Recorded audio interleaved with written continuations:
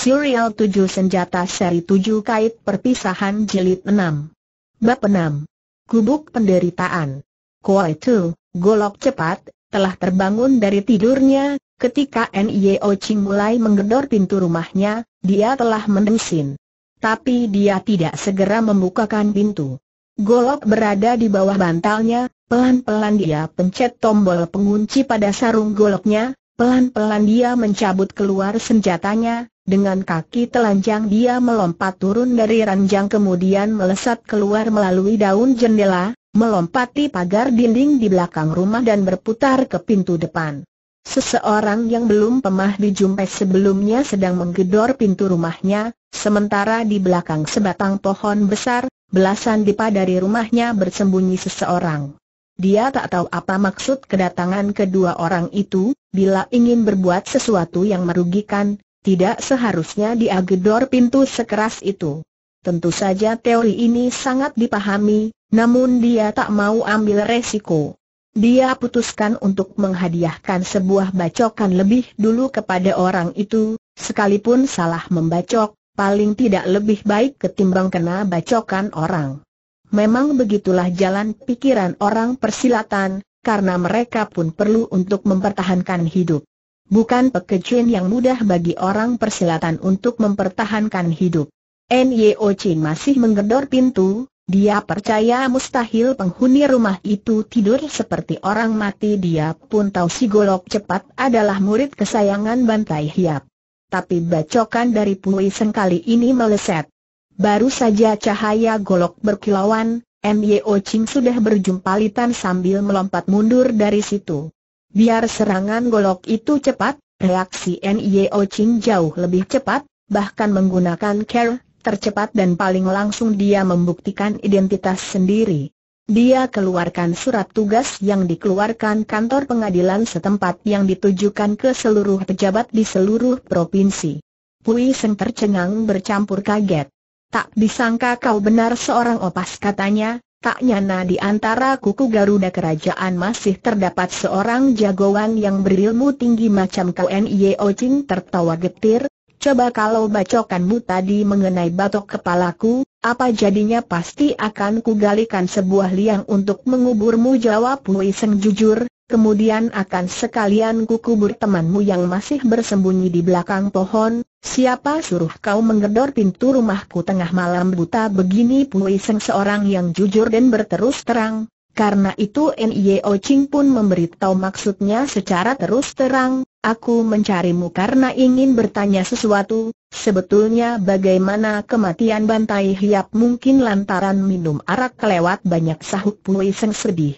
Usianya sudah lanjut, kondisi badannya makin lemah, tapi dalam soal meminum arak, dia tak pernah mau mengaku kalah konon dia meninggal sewaktu kencing.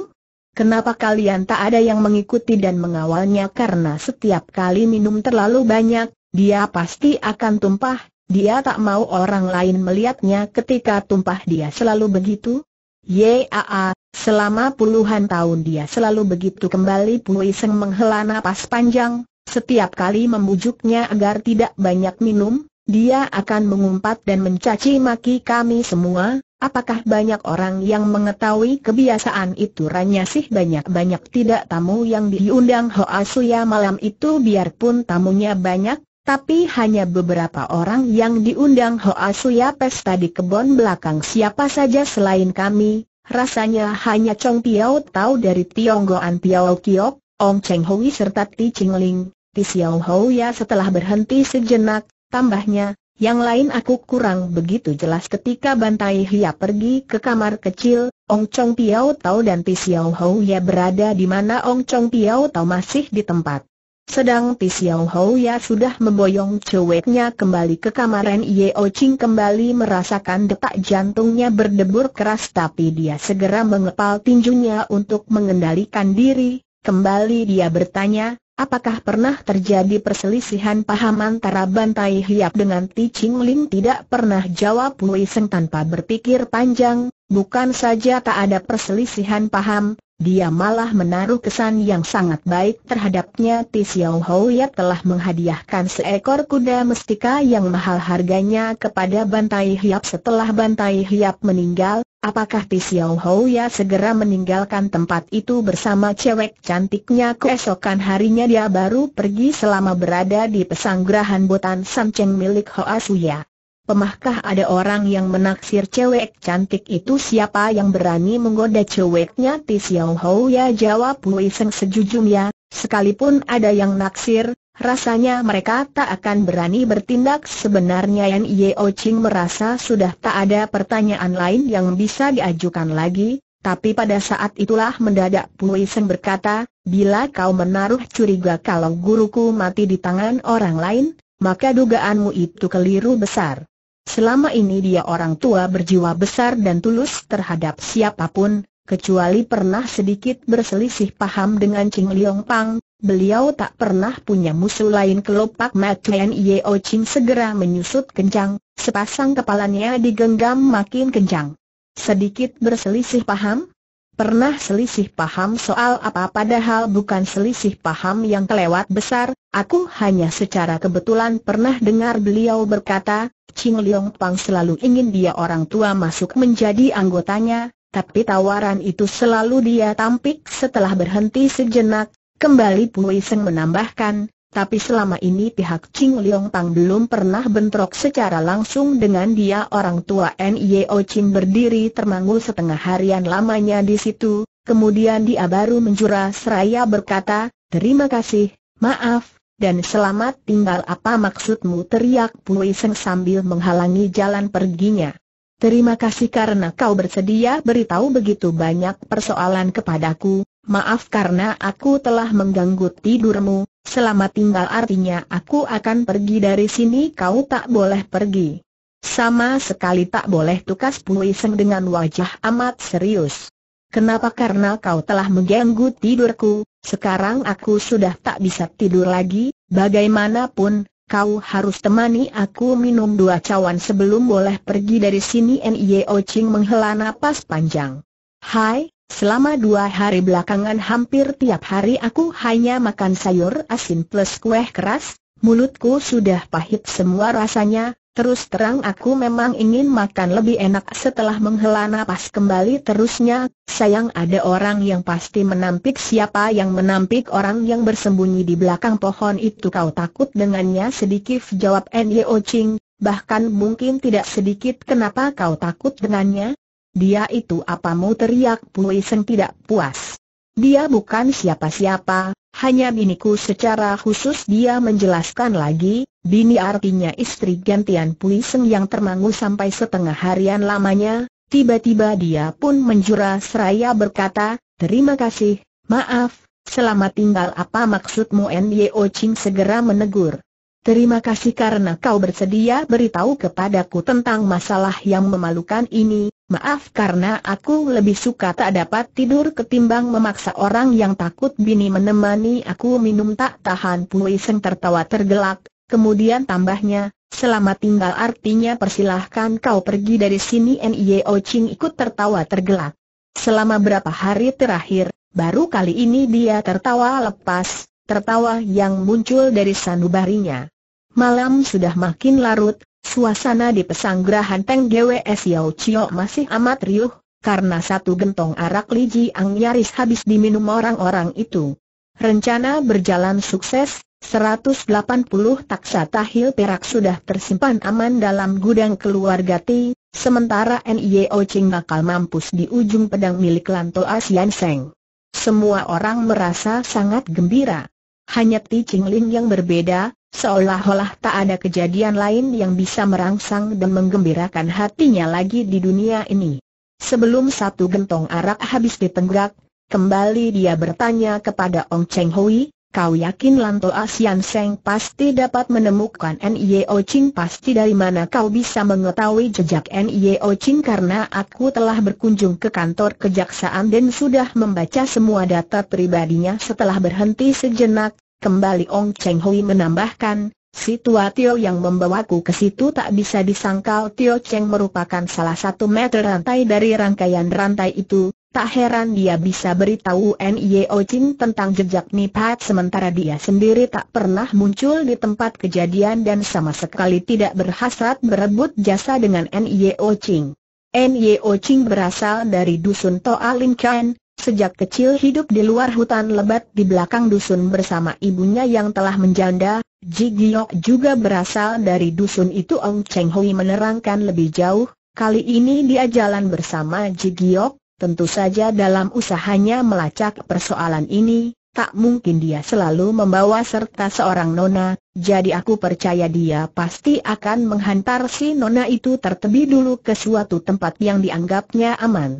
Setelah berhenti sejenak, kembali lanjutnya, semua saudara sealirannya telah dikurung dalam penjara, sekarang dia sudah tak memiliki teman yang bisa dipercaya lagi, bahkan sama sekali tak punya tempat untuk dituju maka aku yakin dia pasti akan menghantar Ji Giok pulang ke dusunnya, karena jalan yang mereka tempuh adalah jalan menuju ke dusun Toa Lim Chung perhitungannya memang tepat sekali. Tentu saja jabatannya sebagai seorang tongcu dari perkumpulan Ching Liong Pang bukan diperoleh karena untung-untungan, apalagi untuk menjadi seorang Chong Piao Tau dari perusahaan ekspedisi Tionggoan Piao Kiok, jelas dibutuhkan kemampuan, kepandaian serta perjuangan yang luar biasa. Aku berani jamin, besok pada saat yang sama seperti sekarang, M.Y.O. Ching pasti akan balik ke dusun Toa Lim Chung, dia pasti akan mampus di ujung pedang lansan kukiam milik Lanit Cheng benar saja, sejak keesokan hatinya, M.Y.O. Ching benar-benar telah mengajak Ji Giok balik ke dusun tempat kelahiran mereka. Main bersama, menangkap ikan dengan kaki telanjang, membuat orang-orangan dan salju, berlarian sambil bergandengan tangan di hutan yang lebar. Semuanya merupakan kenangan masa kanak-kanak yang sangat indah. Kenangan masa kecil yang penuh kehangatan. Seperti dalam impian mereka kembali ke tempat itu sambil bergandeng tangan, dusun masih seperti sedia kala tapi bagaimana dengan manusianya? Mereka tidak kembali ke dalam dusun tapi berputar dari sisi perkampungan lain menuju ke hutan lebat di belakang dusun hujan musim gugur baru saja berhenti, tanah dalam hutan lembab lagi basah, siang tak nampak matahari malam tak nampak bintang, biarpun orang dusun di sekitar tempat itu pun tak berani memasuki hutan kelewat dalam, karena asal tersesat maka sulitlah untuk keluar lagi dan tempat itu. N.Y.O. Ching tidak khawatir tersesat. Sejak kecil dia sudah gemar berkeliaran dalam hutan itu, ketika berusia 8 sampai 9 tahun, hampir setiap hari dia akan berdiam hampir 1-2 jam iamanya di dalam hutan itu, malah kadang kala malam hari pun sering berada di hutan itu seorang diri. Tak ada yang tahu apa yang sedang dia lakukan dalam hutan itu, tak pemah dia izinkan siapa pun ikut bersamanya, termasuk Lu Shok Bun. Baru pertama kali ini dia mengajak perempuan itu ke sana. Dia mengajak perempuan itu berbelok kiri berputar kanan dalam hutan yang lebat itu, setengah jam kemudian tibalah mereka di tepi sebuah mata air, jauh di dalam hutan sana, di situ mereka jumpai sebuah rumah papan kecil yang sudah riot dan amat sederhana. Biarpun Lu Syok Bun dilahirkan dalam dusun itu, belum pernah dia berkunjung ke tempat tersebut. Pintu rumah berada dalam keadaan tergembok, sebuah kunci gembokan yang telah berkarat terpasang di insel pintu, dalam bilik hanya terdapat sebuah ranjang, sebuah meja, sebuah kursi, sebuah mangkuk besar, sebuah lentera minyak serta sebuah bangku kecil. Semua barang telah berdebu, sarang laba-iaba menyelimuti setiap sudut ruang, lumut hijau melapisi lantai di depan pintu, semua ini menunjukkan kalau sudah lama tempat itu tak dijamah manusia ketika dulu ada orang tinggal di situ, penghidupannya tentu amat sederhana, kesepian dan penuh penderitaan. Mi lihat kesemuanya ini tak tahan Lu Shok Bun bertanya, tempat apa ini? Dari mana kau bisa menemukan tempat seperti ini karena dulu hampir setiap hari aku datang kemari, kadangkala dalam sehari bisa datang kemari dua kali mau apa kemari menjenguk seseorang siapa N.I.O. Ching termenung sampai lama sekali, tiba-tiba di atas wajahnya terlintas perasaan hormat dan perasaan menderita yang mendalam, lewat lama kemudian sepatah demi sepatah ia berkata, Aku datang menjenguk ayahku. N.I.O. Ching memukul pelan lumut di depan jendela, setahun sebelum kematiannya, hampir setiap hari dia berdiri di depan jendela, menunggu aku datang menjenguknya sekali lagi Lu Shok Bun terkesiap. Sejak N.I.O. Ching masih bayi, ayahnya telah kabur ke dalam hutan, ibunya selalu hidup menjanda, mencucikan pakaian tetangga atau menjahitkan baju orang untuk melanjutkan hidup dan memelihara putranya, Lu Shok Bun tak pernah tahu kalau N.I.O. Ching punya ayah, dia ingin bertanya, kenapa ayahnya bersembunyi di dalam hutan dan tak mau bertemu siapa pun. Tapi dia tidak bertanya. Pengalaman yang ditimbanya selama bertahun-tahun membuat dia sudah pandai berpikir untuk orang lain, menyimpan rahasia orang lain, tak pernah menyelidiki rahasia orang dan tidak bertanya persoalan yang tak ingin dijawab orang lain. Tapi N.Y.O. Ching menerangkan sendiri.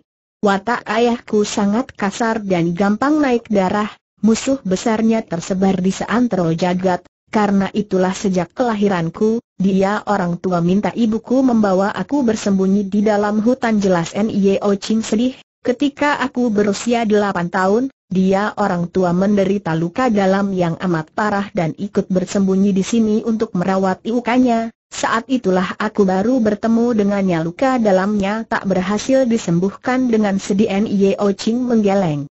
Semenjak dia bersembunyi di sini, musuh-musuh besarnya telah mencari dia di seantero jagat tapi gagal menemukan jejaknya, karena itulah aku sengaja membawamu kemari, karena sepeninggalku nanti, tak bakal ada orang lain yang bisa temukan jejakmu di sini. Tiba-tiba Lu Siok Bun merasakan bibirnya berubah jadi dingin kaku bahkan gemetar keras, tapi dia masih berusaha untuk mengendalikan diri. Dia adalah seorang wanita yang sangat mengerti urusan, dia tahu perkataan N.I.O. Ching tadi pasti beralasan kuat, kalau tidak kenapa dia bilang mau pergi? Padahal dia pemah berjanji, biar sampai mati pun dia tak akan meninggalkan dirinya. Hari semakin gelap, minyak dalam lentera telah mengering, dalam kegelapan malam yang mencekam Lu Shok Bun mencoba untuk mengenali situasi dalam bilik tersebut.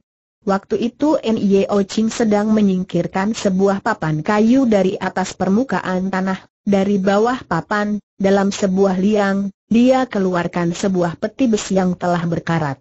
Ternyata dalam peti besi itu tersedia korek api.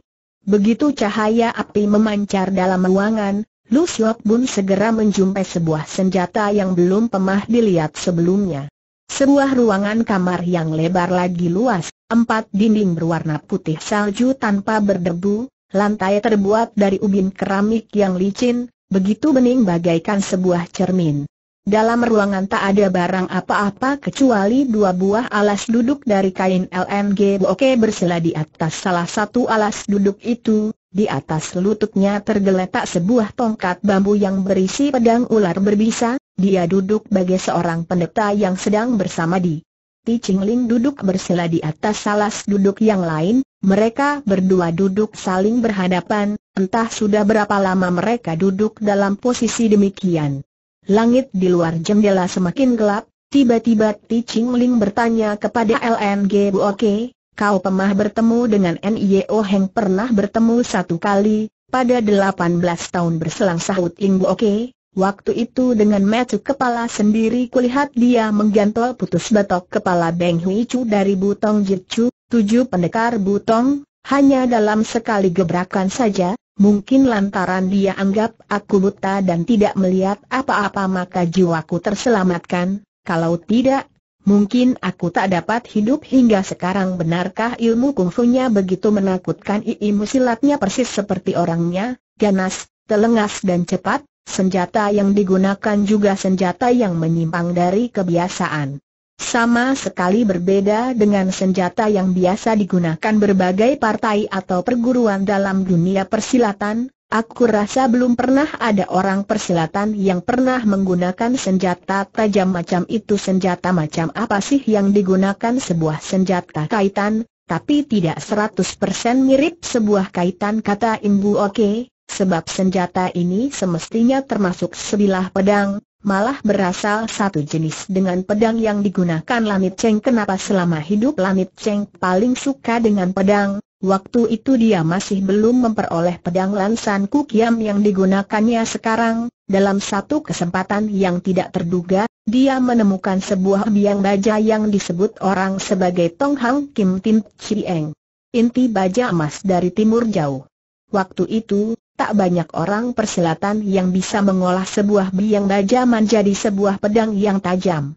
Lanit Cheng mencari bertahun-tahun lamanya sebelum berhasil menjumpai seorang empu pedang yang sudah lama mengundurkan diri dari percaturan dunia. Dalam sekilas pandangan orang itu segera tahu kalau biang baja itu luar biasa, bahkan mengaku sanggup mengubahnya menjadi sebilah senjata tajam yang bisa memapas putus sehelai rambut pun. Dia tidak membual, hanya dalam tujuh hari dia berhasil menempa sebilah baja hitam yang luar biasa dari dalam biang baja itu. Untuk menempanya menjadi sebilah pedang harus ditunggu lagi paling tidak selama tiga bulan. Lanit Cheng tak bisa menunggu terlalu lama, sebab dia telah berjanji dengan Pasan Kiam Kek, jago pedang dari Bukit Pasan, untuk bertanding pedang di puncak Gunung Hoasan waktu itu dia sudah menaruh kepercayaan penuh terhadap empu pedang tersebut, maka ditinggalkan biang baja miliknya itu untuk pergi memenuhi janji. Saat itu dia belum tahu kalau empu pedang tersebut terpaksa mengundurkan diri lantaran menderita penyakit ayan, penyakit itu sering kambuh terutama di saat dia sedang tegang atau panik. Saat yang paling tegang dan paling penting ketika menempa sebilah pedang adalah di saat api sudah mencapai titik tertentu, saat seperti itu biasanya berlangsung amat singkat, berhasil atau gagalnya sebilah pedang mestika justru ditentukan pada saat yang teramat singkat. Ketika Ing Bu Oke bercerita sampai di situ, Ti Ching Ling sudah dapat menduga kalau si empu pedang telah gagal membuat sebilah pedang mestika. Kali ini dia telah menempa biang baja itu menjadi sebilah senjata yang aneh sekali bentuknya, bentuk golok bukan golok, pedang bukan pedang, walaupun ujung pedang melengkung bagaikan sebuah kait, namun tidak mirip dengan sebuah senjata kaitan.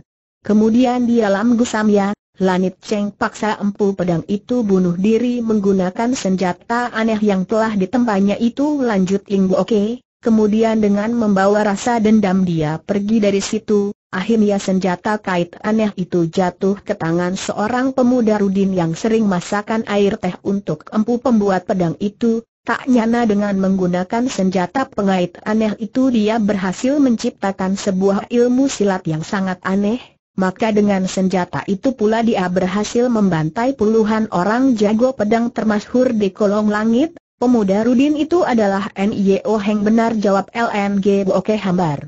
Jika sejak awal Lanit Cheng tahu bakal terjadi peristiwa semacam ini mungkin dia sudah lempar pedang aneh beserta empu pembuat pedang itu ke dalam tungku api malam telah menjelang tiba, 26 orang bocah berbaju putih dengan membawa 72 batang tempat lilin yang terbuat dari tembaga pelan-pelan berjalan masuk ke dalam ruangan, setelah meletakkan tempat lilin itu di empat penjuru ruangan, mereka kembali mengundurkan diri dari sana. Mendadak Ti Ching Ling bangkit berdiri, kemudian setelah bersujud penuh rasa hormat di hadapan Ing Bu Oke, katanya dengan sopan, Tecu Ti Ching Ling untuk kesebelas kalinya mencoba pedang, mohon suhu mau menghadiahkan jurus serangan ketika cahaya api memancar dalam ruangan, Tampaklah dalam peti besi berkarat itu tersimpan sebilah senjata yang aneh sekali bentuknya, senjata itu memancarkan cahaya dingin yang sangat menggigitkan hati, memaksa Lu Siok Bun ikut merasa menggigil keras.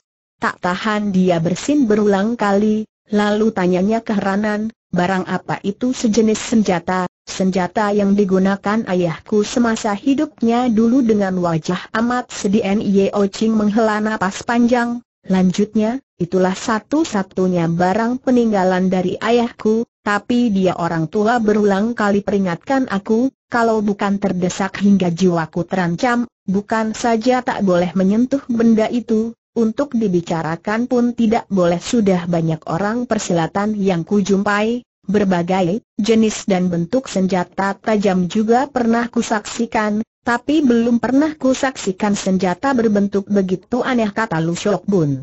Tentu saja kau tak pernah melihatnya, karena senjata itu adalah senjata langka, dari dulu hingga sekarang hanya ada satu saja, yaitu senjata tersebut itu pedang atau kaitan sebetulnya sebilah pedang. Tapi ayahku telah memberi sebuah nama istimewa untuk senjatanya, dia menyebutnya sebagai kait perpisahan. Kalau memang sebuah senjata pengait, seharusnya dinamakan pengait.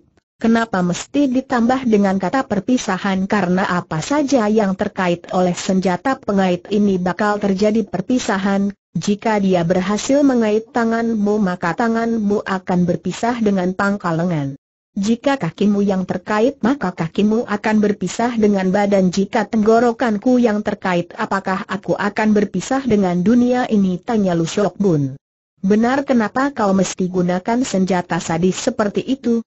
Karena aku tak mau berpisah ditatapnya wajah Lu Shok Bun lekat-lekat, kemudian N.I.O. Ching menambahkan, Aka tak ingin berpisah denganmu ungkapan tersebut diutarakan dengan nada mesra yang mendekati suatu penderitaan, aku terpaksa gunakan senjata kait perpisahan karena aku ingin selalu berkumpul denganmu, sepanjang masa berkumpul denganmu, selama hidup tak pernah akan berpisah, Lu Syok Bun sangat paham maksud hatinya, dia pun paham perasaan cintanya yang begitu mendalam terhadap dirinya, bahkan paham sekali. Tapi air matanya tetap tidak terbendung, tak tahan butiran air matanya jan bercucuran. Untung cahaya api saat itu telah padam, M.Y.O. Ching tak dapat melihat jelas wajahnya, terlebih tak sempat melihat air matanya yang sedang bercucuran. Cahaya tajam yang terpancar keluar dari senjata kait perpisahan, seolah-olah ikut lenyap di balik kegelapan. Betapa indahnya jika benda tersebut betul-betul telah lenyap tak berbekas. Lu Syok Bun sangat berharap senjata itu benar-benar benar lenyap, lenyap untuk selamanya, sepanjang masa tak pemah ada lagi senjata kait perpisahan, selamanya tak akan pernah berpisah lagi. Kalau selamanya tak ada pembunuhan, tak ada dendam kesumat maka selamanya mereka berdua dapat hidup bersama dengan penuh ketenangan dan kedamaian, biarpun sedang berada dalam kegelapan, mereka tetap bisa melewatinya dengan manis dan penuh kemesraan. Entah berapa saat kembali berlalu, mendadak terdengar N.I.O. Ching berbisik, Kenapa kau tidak bicara kau mina aku bicara apakah sudah tahu aku akan pergi, sudah tahu akan membawa kait perpisahan untuk berpisah denganmu, biarpun aku berbuat begini lantaran ingin berkumpul selalu denganmu, tapi setelah perpisahan ini mungkin juga tak ada kesempatan lagi buat kita untuk berjumpa, kau tahu bukan, Musuh yang harus kuhadapi adalah seorang musuh yang benar-benar sangat menakutkan keheningan mencekam hutan lebat itu, jangankan suara manusia, suara pepohonan yang diterpa angin pun tak kedengaran, karena angin pun tak dapat menembusi tempat itu. Suasana di dalam bilik amat hening, entah berapa lama sudah lewat, akhirnya Lu Siok Bun menghela napas panjang bila umurku 10 tahun lebih muda, Aku tentu akan bicara begini kepadamu, aku akan berupaya menahanmu memohon kepadamu untuk membuang semua pikiran dan keinginan, memintamu untuk hidup tenteram bersamaku di tempat seperti sarang setan ini bila seandainya dia benar-benar berbuat begitu, perasaan N.I.O. Ching mungkin akan jauh lebih enakan. Tapi dia sangat dingin, sikap dinginnya amat menghancurkan perasaan hatinya, bahkan nyaris membuatnya jadi gila. Berapa banyak penderitaan dan siksaan batin lagi yang mesti dibayar untuk bisa memperoleh sikap dingin seperti itu? N.Y.O. Ching sakit hati.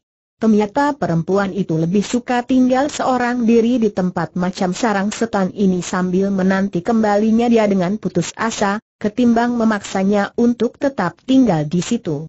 Karena dia tahu apa yang hendak dilakukan pemuda itu merupakan satu tindakan yang mesti dia lakukan, Bila dia memaksa pemuda itu untuk tidak melakukan, sepanjang hidup dia pasti akan menderita, menyesal dan tersiksa batinnya. Oleh sebab itu Lusok Bun lebih suka menerima penderitaan itu di dalam hati daripada mencegah lelakinya untuk tidak melakukan perbuatan yang seharusnya dia lakukan. Dibutuhkan berapa besar keberanian bagi seorang wanita untuk mengambil keputusan itu? Udara malam terasa dingin bagaikan salju, Tiba-tiba N.I.O. Ching merasa ada sebuah tubuh yang halus lembut dan hangat pelan-pelan bersandar di tubuhnya, kemudian memelukkan erat. Mereka tidak berbicara lagi.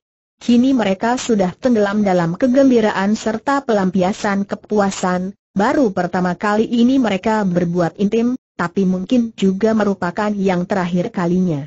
Angin dingin berhembus masuk melalui jendela, terasa ada angin lembut yang mulai berhembus lewat. Lu Syok Bun seorang diri berbaring tenang di atas pembaringan, tubuhnya masih dapat merasakan kehangatan serta kemesraan yang diperolehnya semalam, sementara perasaan hatinya penuh diliputi kesedihan serta keputusasaan. N.Y.O. Chin telah pergi dari situ, diam-diam berlalu. Dia tahu kapan pemuda itu pergi, tapi dia pura-pura tertidur nyenyak, dia pun tidak membangunkan tidurnya. Karena mereka sudah tak sanggup menahan penderitaan yang menyayat di kala berpisah. Di atas meja terdapat sebuah buntalan warna biru, Sisa ransum yang masih ada dia tinggalkan semua untuk perempuan itu, sudah cukup untuk mempertahankan hidup perempuan itu hingga saatnya datang menjemput nanti.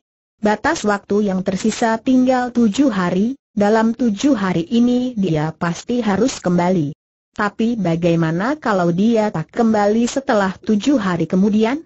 Lu Shok Bun tak berani berpikir, dia harus berupaya untuk menghimpun semua pikirannya, tiada hentinya dia beritahu diri sendiri, bila kami sudah menikmati kebahagiaan di kala berkumpul, kenapa tak boleh menderita di kala berpisah?